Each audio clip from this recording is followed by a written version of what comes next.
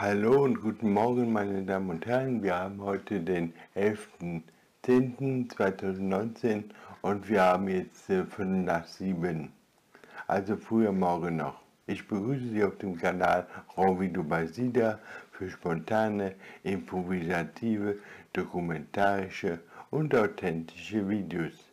So zumindest der Anspruch hier. Ob das denn immer in ein Detail eingehalten werden kann, lassen wir mal offen. Da wollen wir mal großzügig sein. Ja, ansonsten geht es auf diesem Kanal darum, die Transformation in die digitale Gesellschaft in der Wendezeit, in der wir ja alle leben, hier bei mir zu dokumentieren, festzuhalten und zu überprüfen, inwieweit ich jetzt als Babyboomer da noch daran partizipiere und wie ich das aufnehme und ob ich da noch mitmachen kann und wie weit und wo ich da Defizite habe und so weiter. Ich muss ehrlich sagen, dass die Begeisterung da schon nachgelassen hat. Die war am Anfang nach 40 Jahren digitaler äh, ja, Begleitung, sage ich mal, lässt das nach, die Begeisterung. Ich habe 1981 meinen ersten Computer gehabt, einen Homecomputer, ZX81 nannte der sich. Das war so ein besserer Taschenrechner und ich konnte damit nicht umgehen. Und das dauerte und dauerte, bis ich da endlich auf den Zeitschriften da was abgetippt hatte, dass das Gerät etwas machte. Ja, und dann löste sozusagen ein Gerät das andere ab, nachdem ich erstmal herausgefunden habe, dass ich da sozusagen mein Macho befriedigen kann also ich als Dominator befehle dem Computer, mach das, mach das und der macht das dann auch. Das fand ich ganz großartig und da steckt wohl auch so damit dahinter. Ja, im Übrigen heute gibt es wieder, also außerdem möchte ich auch noch überprüfen, Sie kennen vielleicht Manfred Spitzer, der hat ja so einen Zusammenhang hergestellt zwischen dem Dementen und dem Digitalen. Ich möchte ja auch gleichzeitig noch so ein bisschen abchecken, ob ich jetzt mehr so in Richtung des Dementen oder mehr in das zum Homo Digitales mich entwickle. Ich vermute eher letzteres, aber okay, das kann passieren und das schaue ich mir dann auch so an. Und das kann man auch gut machen mit den Videos.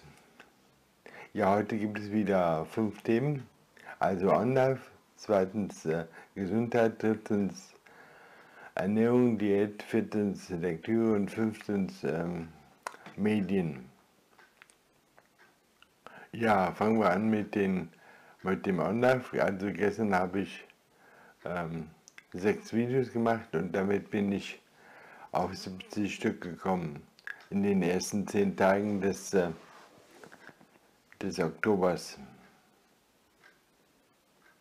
Ja, 70 Stück mal drei wären dann eine Monatsleistung von 210. Aber über 200, das wäre natürlich immer eine Marke, eine Ansage. Ich glaube, ich habe in diesem Jahr erst in einem Monat es geschafft, über 200 zu kommen. Ich glaube im Juli. Juli ist immer mein stärkster Monat.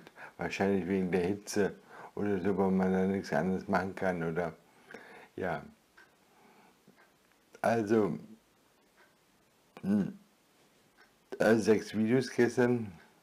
Natürlich wieder nichts Besonderes, so Brot- und Butter-Videos, so meine üblichen Müllvideos, sag ich mal. Wieder mit Musik, mit Ton und so weiter. Ja, gestern habe ich also herausgefunden, dass also, ich dachte schon mal, dass die Renderzeit mich ja nervt.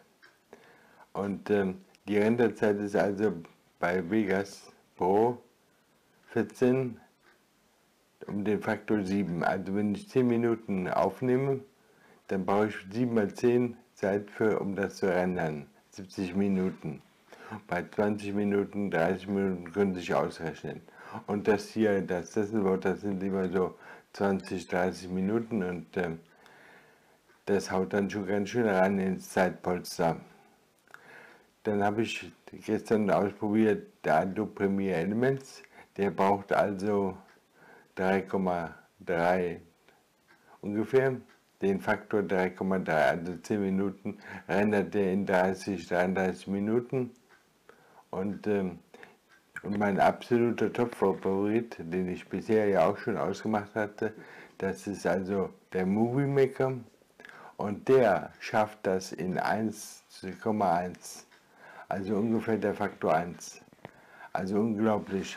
Ich weiß nicht, wie die das machen. Irgendwie, irgendwie ähm, wird dann die Grafikkarte optimal ausgenutzt. Oder vorher war die ja natürlich auch schon gut. Der hatte ja vorher auch schon äh, mit der internen Grafikeinheit arbeitete der auch schon sehr gut. Und die haben da einen besonderen kurzen Zugang, den die anderen Hersteller dann nicht haben zu dem Windows-Betriebssystem. Irgendwie so eine kurze, so, eine, so einen kurzen ähm, Zugriff, dass sie da direkt auf die Einheiten zugreifen können. Jedenfalls ist äh, MovieMac quasi der beste, der beste Renderer hier. Und wenn ich das so genau überlege, viel besser können eigentlich die anderen nicht sein. Also gestern habe ich eine Riesendatei.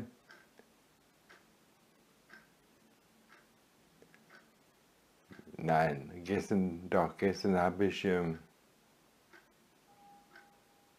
mit Adobe Premiere, glaube ich, habe ich gestern habe ich gestern ähm, ähm, die große Datei gemacht. Ich mache hier also mit verschiedenen Geräten Aufnahmen und äh, die EOS zum Beispiel, die produziert Move-Dateien und diese Move-Dateien, die sind riesig. Also gestern hatte ich eine, die hatte 8 GB und diese 8 GB mit 38 Minuten wurden aber so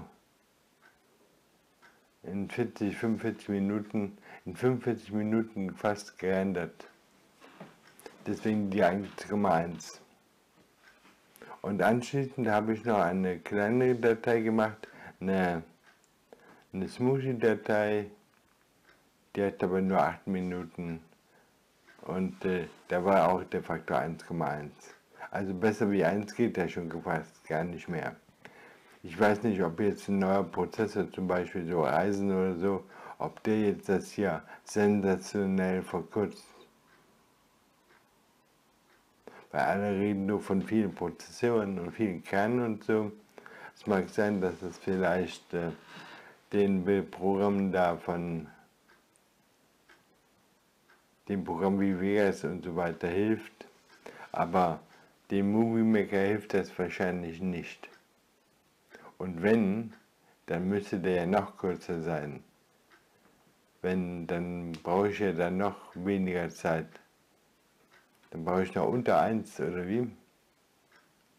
Könnte sein, dass ich dann vielleicht unter 1 bin. Vorausgesetzt natürlich, der Movie Maker, der kommt mit den vielen Kernen überhaupt zurecht. Also momentan habe ich ja 8 Kerne, 4 Kerne, 4 richtige also vier logische und dann nochmal vier, ja, Set-Kerne oder die Sets da. Auch nochmal vier sind also acht. Aber eigentlich habe ich nur vier Prozessoren, logische. Und ähm, nicht jedes Programm kommt jetzt mit äh, so vielen Prozessoren klar.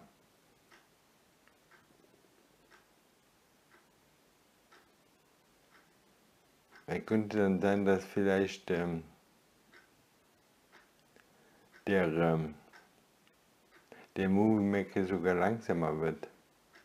Glaube ich nicht, aber jedenfalls mit dem A8 läuft der super drauf. Und bei das bei 45 TDW, mein energiesparsames System ähm, schlägt hier alle Rekorde. Das hätte ich so nicht gedacht.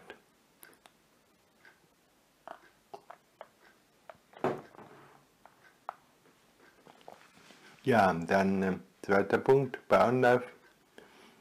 Ich habe schon seit längerem so den, den Spleen hier im Kopf. Ein Spleen, das ist immer so ein Wurm, der dreht sich, der bohrt sich ins Hirn rein und dann krabbelt der rum und der lässt einem keine Ruhe. Also das, der Wurm heißt hier Streaming und ähm, also ich wollte auch nochmal versuchen, ob ich mal im Alter das noch hinbekomme, damit dem Streamen und jetzt habe ich eine Grafikkarte und die soll ja auch streamen können. Und äh, Ja, das habe ich gestern versucht auszuprobieren. Aber ich scheiterte quasi an der Hürde dabei bei YouTube. Und zwar habe ich da mich äh, dann nicht richtig verstanden, wie die das wollen. Wie die äh, so eine, wie die so eine Live-Veranstaltung, wie die das äh, ähm, organisieren. Also was ich bisher so gesehen habe, ist also, dass du so ein Ticket brauchst für eine Live-Veranstaltung und diese, das, dieses Ticket musst du dann anmelden mit, ähm, mit dem Postwort und so weiter. Und erst wenn du das gemacht hast, dann kannst du dann kannst du dein Stream hochschicken. Weil gestern sagte der hier, dass keine Daten da wären.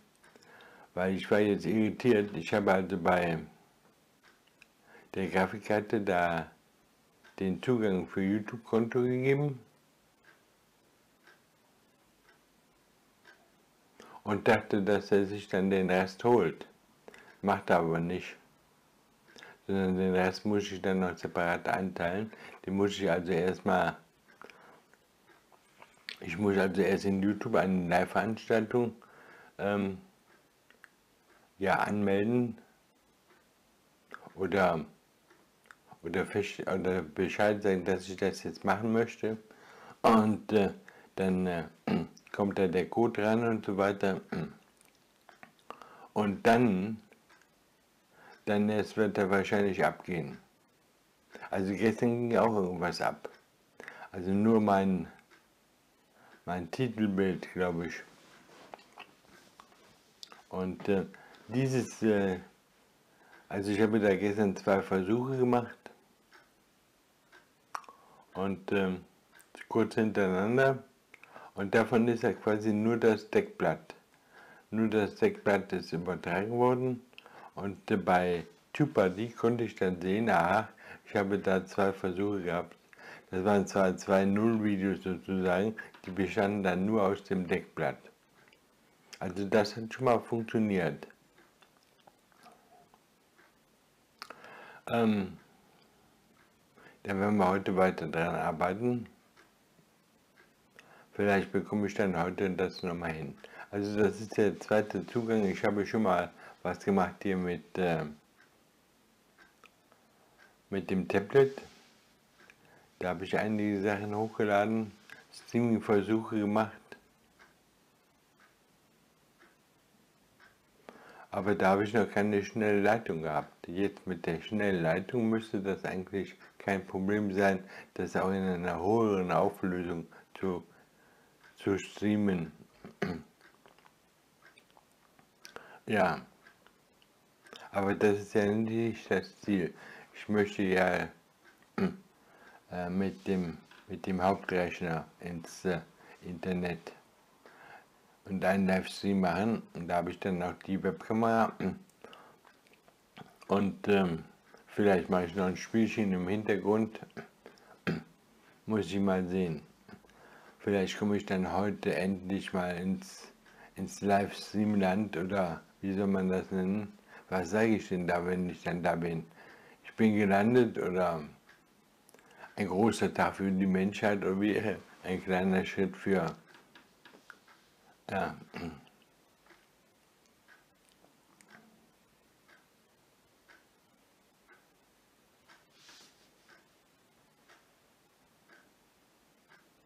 Weil bisher war ich immer der Meinung, dass ich da unheimliche Ressourcen brauche, um das zu realisieren. Aber jetzt durch die Grafikkarte, dadurch, dass sie also das aufnimmt und äh, das abspeichert, und dann auch noch streamt, das, ähm, das, sollte, das sollte man Prozessor vielleicht schaffen können. Ich weiß nicht, auf welche Auflösung. Und viele Sachen sagen mir auch noch nichts, der MPS und so, als spanische Dörfer. Aber das kommt noch.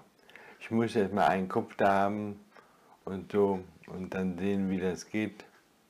Und der Rest findet sich dann muss man das ausprobieren. bis man dann so eine optimale Qualität hat und so.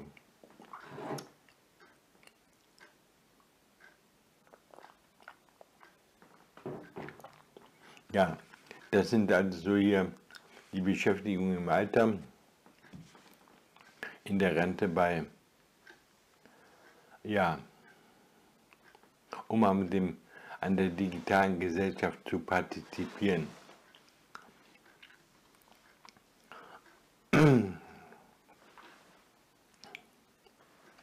Ich meine, da ist kein großer Unterschied. Ich mache ja bisher eigentlich auch Live-Videos und ähm, rede kontrolliert.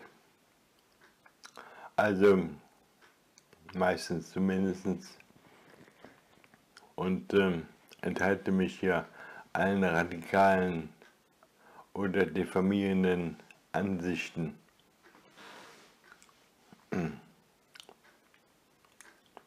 Ja, Punkt Nummer zwei, Gesundheit. Ja, Gesundheit kam gestern ein neues Malheur dazu, und zwar der linke Fuß, und zwar da am Spann, da kann ich auf einmal nicht auftreten, der ist so dick geschwollen und äh, das schmerzt.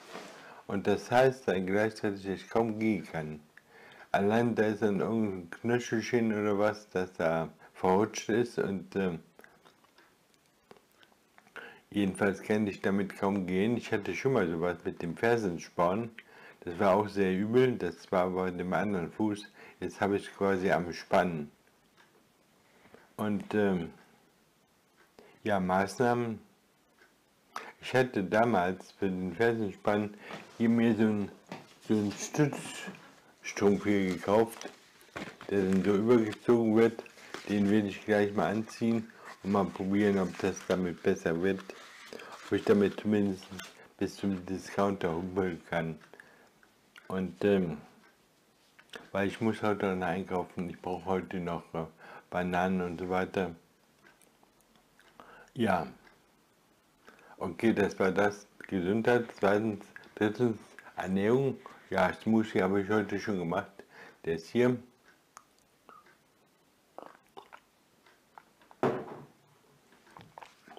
Ähm,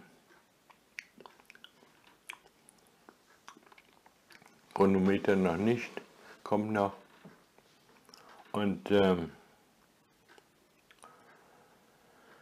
ja, Punkt 4, Lektüre, habe ich gestern wieder gelesen in meinem Studienbrief, Kapitel 1. Und ich habe auch zwei Mindmaps gemacht zum Studienbrief. Also gestern Studienarbeit, endlich, endlich Studienarbeit. Und zwar noch nicht richtig ernsthaft, aber es kommt dem schon nah.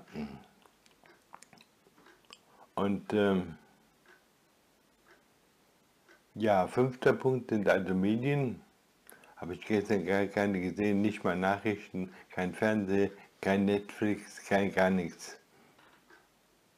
Dafür habe ich viel geschlafen. Ich war schon um, um 20.30 Uhr habe ich schon geschlafen und äh, ja, nachts um um eins war ich zum ersten Mal wach und dann drei nochmal und um vier bin ich dann aufgestanden. Ich weiß nicht, ob das reicht. Ich möchte unbedingt wieder in den Frührhythmus reinkommen und äh, das versuche ich jetzt schon seit ein paar Wochen. Ja, okay Leute, wir haben jetzt halb acht. Ich sag mal, tschüss, macht's gut und wünsche euch noch einen schönen Tag.